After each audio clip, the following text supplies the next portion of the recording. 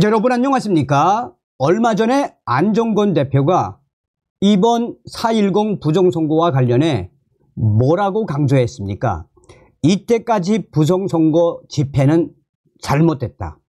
내가 본격적으로 뛰어들었으니 선관위 해체 반드시 이룰 것이다. 안종건 대표가 그러면서 선관위를 어떻게 박살내겠다고 강조했습니까?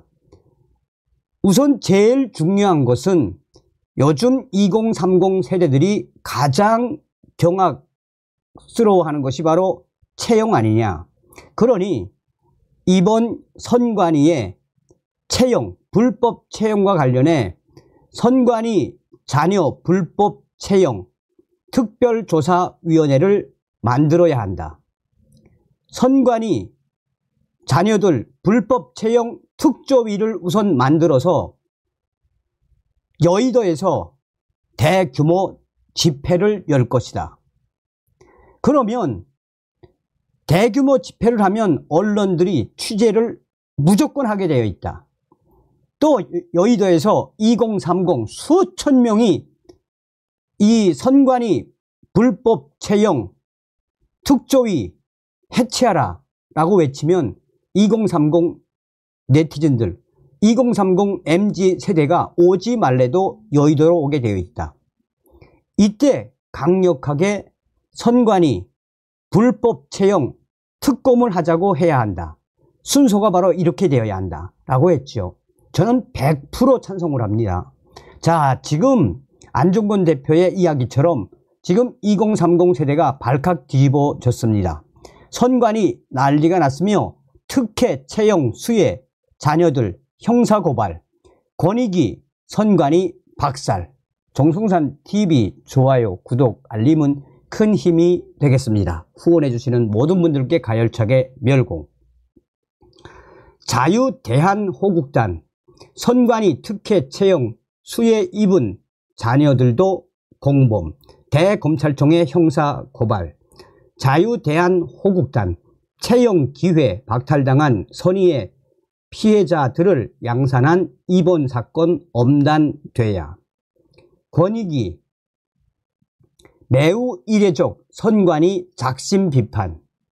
2030 MZ세대 커뮤니티에서 선관위 비판 확대. 선거관리위원회의 조직적 자녀 특혜 채용 의혹이 제기된 가운데 한 시민단체가 형사고발에 나섰습니다.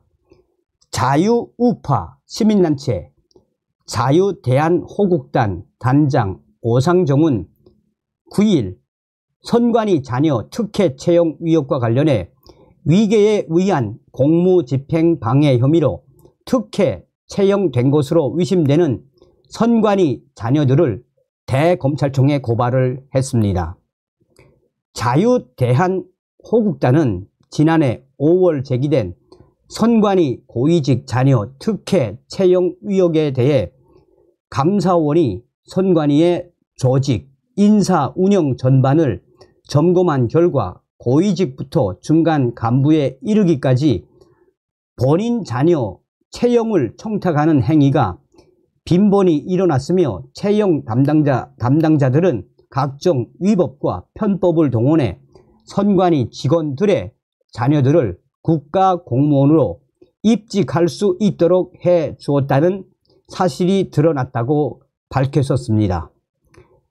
또한 선관위가 자체 시행한 인사 채용 관련 사무 점검, 사무 점검이 증거 인멸의 기회로 활용됐다라며 감사원이 중앙 및 시, 도, 선관위 관계자 총 27명에 대해 검찰 수사를 요청했다는 사실을 지적하며 특혜 채용된 선관위 자녀들이 지원서에 부모님이 선관위에서 일하고 있다는 등의 내용을 기재했고 채용 과정에서 스스로 비위를, 비위를 인정한 정황이, 정황 등이 드러난 만큼 선관위 자녀들의 채용이 특혜라는 점을 인식하고 있었다고 판단된다라며 채용 기회를 얻지 못한 선의의 피해자를 양산한 이번 사건과 관련해 사건 당사자이며 공범이라고 할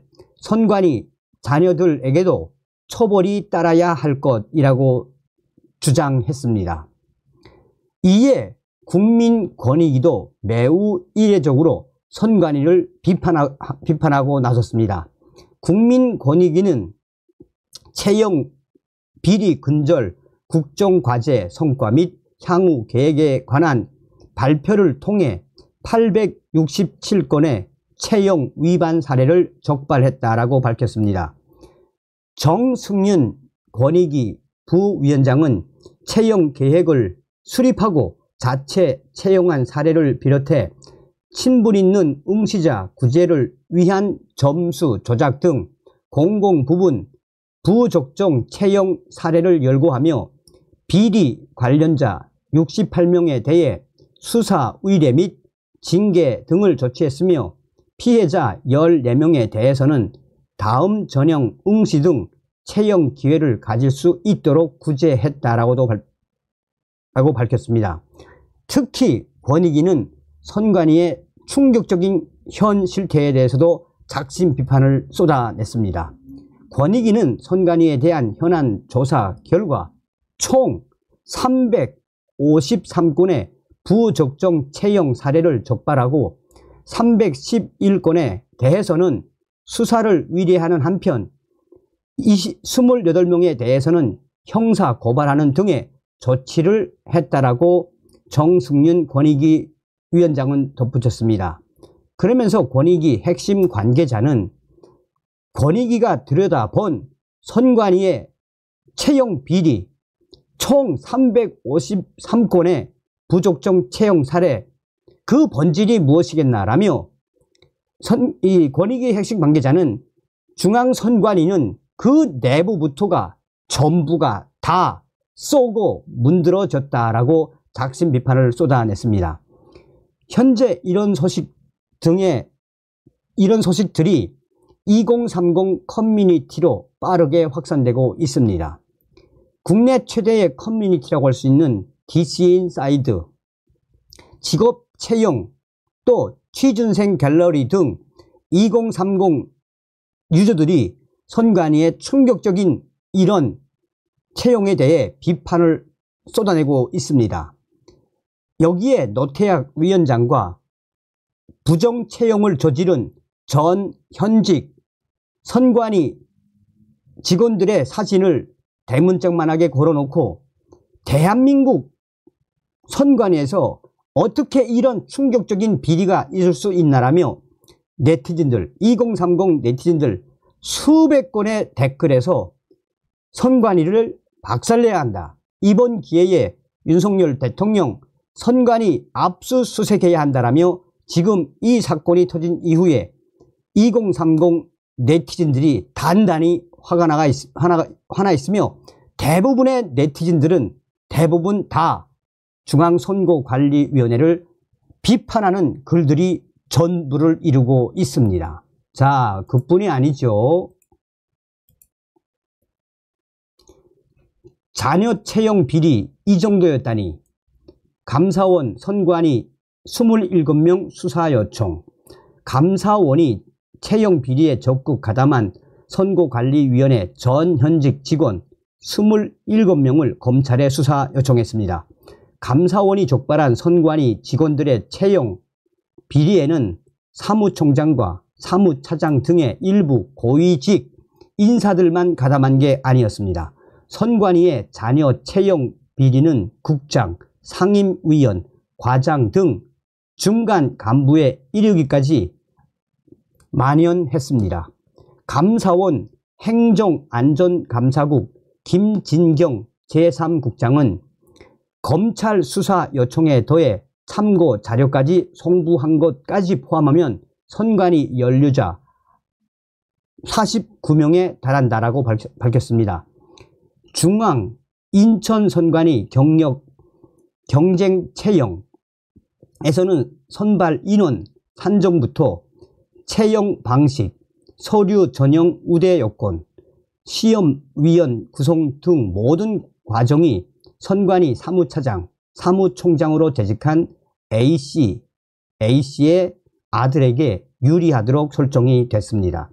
중앙선거관리위원회는 인천 선관위의 6급 이하 인원이 정원 초과라는 점을 알고도 합리적 이유 없이 신규 경체 인원을 배정했습니다. 이후 선관위는 3명의 면접위원을 모두 당시 사무총장이었던 A씨와 친분 관계에 있는 내부 직원으로 구성했습니다. 감사원은 선관위 직원들이 A씨 아들을 세자라 칭하며 대화했던 사실 등도 공개했습니다. 충북 선관위도 마찬가지, 경남 선관위도 마찬가지, 전 남북 선관위도 마찬가지. 뭡니까?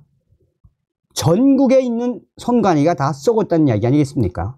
다음 시간에 뵙겠습니다. 멸공.